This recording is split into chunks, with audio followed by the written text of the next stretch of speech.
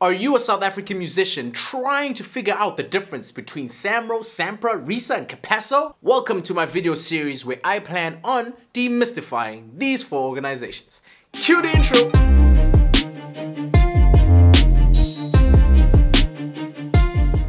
Up? It's your boy Skill from Skill Music SA, and I am a musician from South Africa, independent. I am here to demystify the difference between Samro, Sampra, Risa, and Capasso to try and understand why on earth do we need to register with these companies. But before we go into more detail into the independent organizations, we first have to understand why on earth are we going there. These four organizations kind of help us make money off of our music by collecting royalties. There are three main royalties that we can collect here in sunny South Africa. First one is the performance right, the second one is the mechanical right, and the third one is the needle time right. There are more rights you can collect from, but these three are the easiest to collect if you just simply sign up and only one of those organizations you actually have to pay money. So the first right is called the performance right. The performance right is when you earn royalties when your music is ever performed in public. So whenever your music is being played in public, you are entitled to a performance royalty. Where could this be? This is radio, this is TV, YouTube, this is any movie, this is on radio, any any place you can think of where your music is being played publicly, you are entitled to a performance royalty. The second right that you can possibly collect is the mechanical right. This royalty is entitled to you when your music is reproduced from one platform to another platform, for public use of course. So if your music is being streamed, if your music is being synced to some movie, this is where you can collect the mechanical royalty. The third royalty that you can collect is the needle time right. The needle time right is the royalty performers or musicians get when they made a contribution to a sound recording.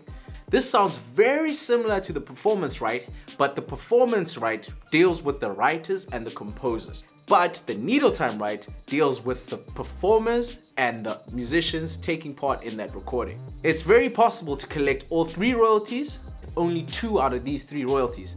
But if you are the original writer and performer of this song, it's very possible for you to collect all three and 100% of these royalties. So let me give you different scenarios. One, you are the musician that wrote the song, you made the composition or made the beat, and this song gets streamed on Spotify. You are entitled to three of these royalties. You are entitled to the needle time because you're the performer. You are entitled to the mechanical right because your song has been changed and reproduced on a streaming platform. And you're the writer and the composer of this song, so you are also entitled to the performance right of the song. Let me give you another scenario. If you didn't write the song at all, but you were a session musician, for example, a keyboardist in the song, you are entitled to a needle time right. A third scenario is if Ed Sheeran made a song called The Shape of You and you decide to do your own cover. You are entitled to a needle time right and a mechanical right, a portion of it depending on how the deal is set up. Performance royalties are collected by a PRO.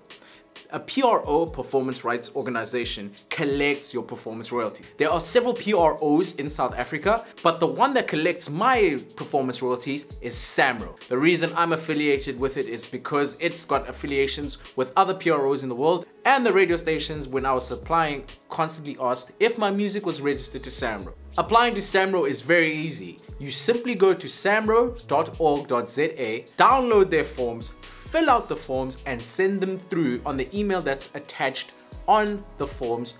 Alternatively, you can give them a ring and they will send you the forms directly to your email. You simply fill it out and send it back. That's how I did it. This all costs no money. So it's absolutely free. The only thing you have to pay for is time and internet to find the forms. For additional information, look into the bio.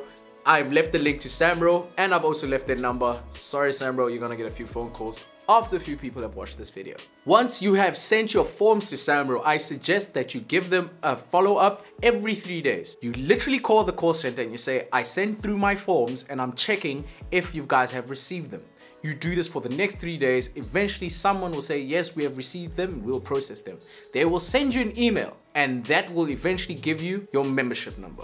SAMRO registration dates vary a lot. I've heard people getting registered within three weeks and some people saying as long as six months. Just make sure you follow up because if you don't follow up, you will probably end up being one of the sixth month people. Once you've sent your forms to SAMRO and SAMRO has replied to you, they will send you an email that has your relation number. Your relation number is basically your membership number. Samro has four tiers that you fall into once you have received your relation number from them. Once you have received your relation number, you become a prospective member. As a prospective member, you don't yet start earning royalties, but this is the automatic tier that Samro puts you in. Once you start earning past the threshold that they've set, I'm not too sure what that is, then you become an ordinary member. As an ordinary member, you are entitled to certain benefits such as royalty distributions, such as being able to vote and getting financial statements from the board of directors as SAMRO. After you become an ordinary member, there's a new threshold where you can become an associate member. I am not that yet, but you are entitled to a bigger sway within the organization and then once you break the next threshold, you can become a full member at Samro, which basically means you can direct the way Samro goes. That concludes episode 1 of the series where I still need to go deeper into Samro, cover Capasso, Risa and Sampra. It's a lot to cover so I had to break it up in segments. If you did enjoy this video, please do subscribe, hit the bell to notify you when I am posting and let me know what you think of this video in the comment section. Question of the series, how easy was it for you to register for Samro and how long did it take? Do let me know in the comments and until next time, Skill signing out.